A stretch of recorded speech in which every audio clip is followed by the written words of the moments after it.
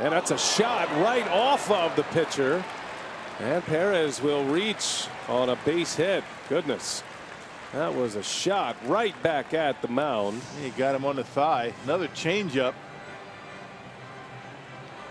Might have hit the glove, maybe got the leg, not sure, but that was a bullet, another changeup. So he doubled up on the changeup, and this is the result.